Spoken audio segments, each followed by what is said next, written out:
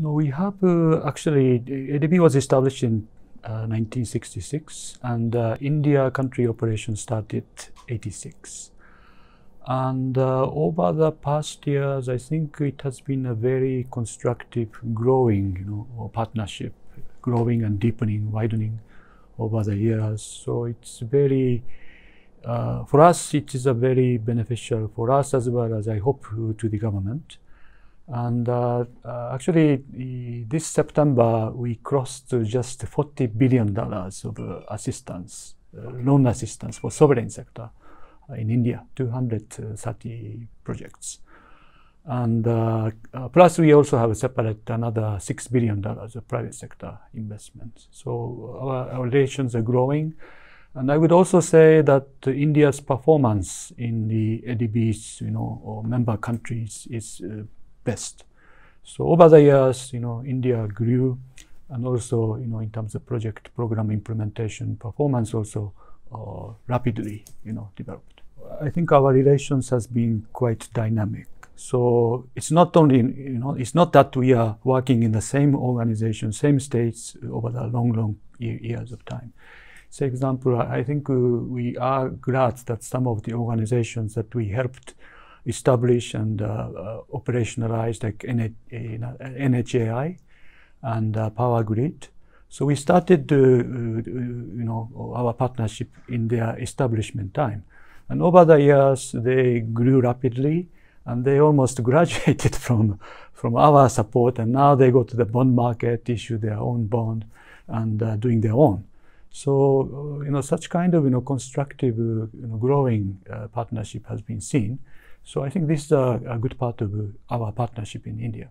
Yeah, if you look back to 1990s in our earlier engagement, I think we started with the financial sector reform, joining hands with the World Bank and IMF, uh, I, I, think 1991 sort of a crisis.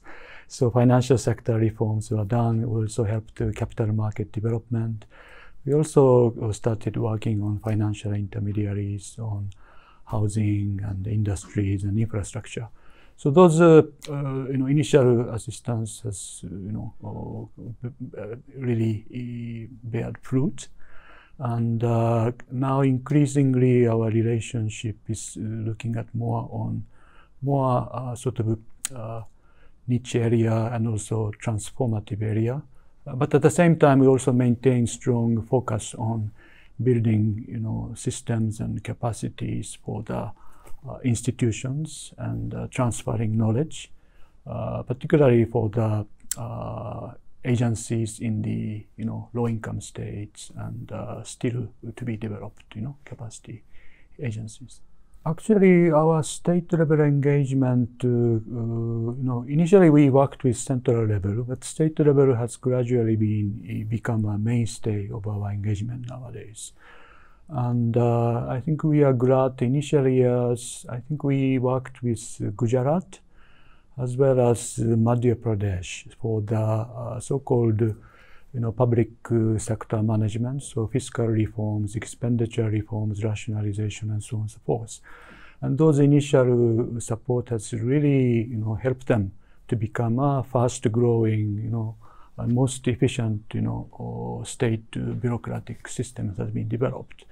So uh, those are some areas that we have been working, and also at the project level, we have various infrastructure sectors, uh, transport, power, uh, urban, and uh, increasingly nowadays agriculture, natural resources sectors. So particularly at the state level, there are two kind of streams. One is uh, our focus, continue to focus on building capacities and, and systems, uh, focusing more on the low-income states. Whereas India is also, you know, diversifying. So states like, uh, you know, Tamil Nadu, Andhra Pradesh, uh, Maharashtra, we try to focus more on some uh, transformative new initiatives uh, like industrial corridor development, promoting uh, you know industrial development, uh, you know based on the infrastructure provided, but not, not only infrastructure, providing policy advice on uh, ease of doing business, procedural you know rationalization and so on.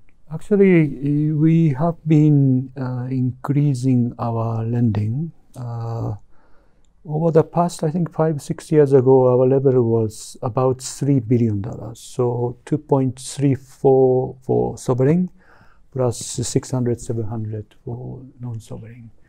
And this has uh, the present five-year strategy. We envisage this should be increased to 4 billion, 3 plus 1 and this is already achieved. So we are envisaging maybe we should be able to go 4.5 plus, like 3.5 plus 1 plus. Uh, so that is the target.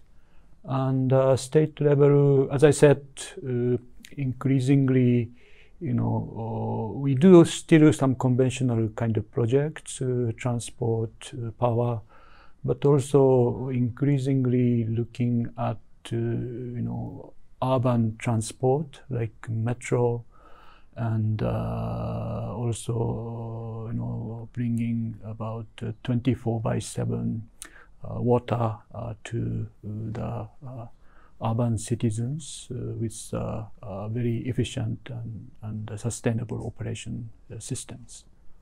Yeah, this is a five-year strategy from 2018 to 22.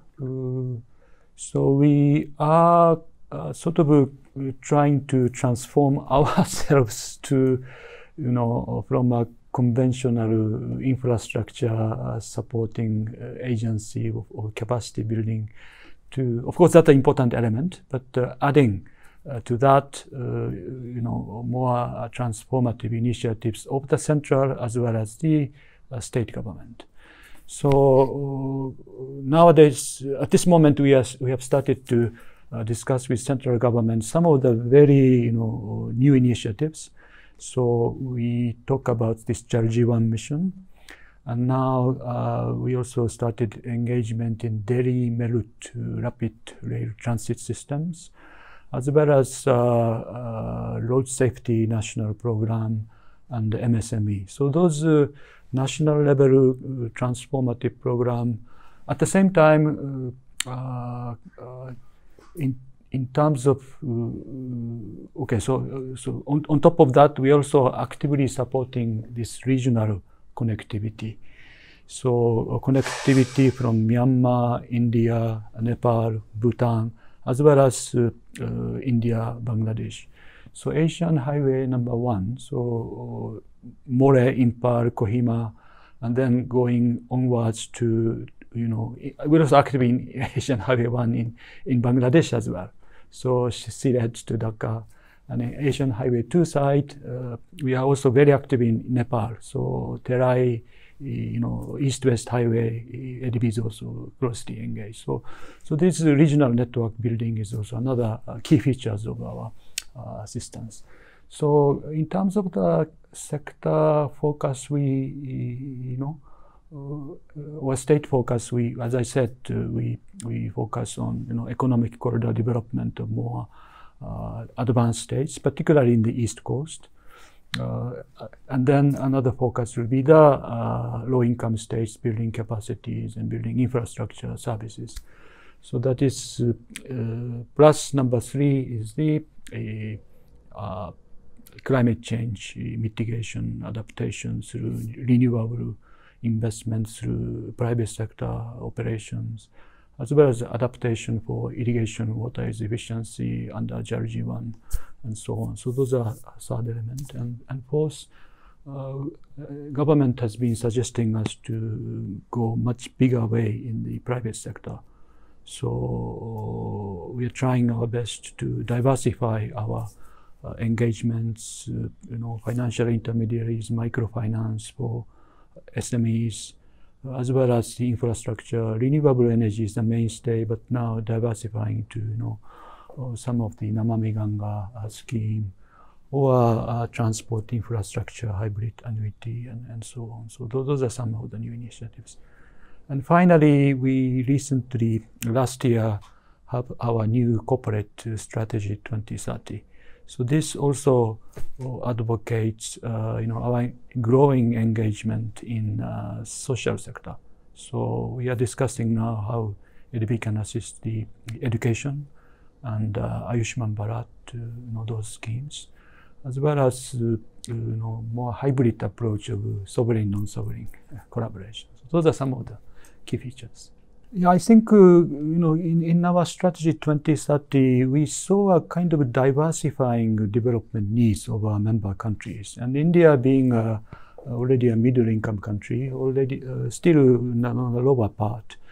So we see you know a lot of uh, sort of uh, learning may come from uh, uh, experience in say Thailand, Malaysia and uh, China, of course, China system is a bit different. Uh, you know, you know, political, uh, you know, institutional system is different.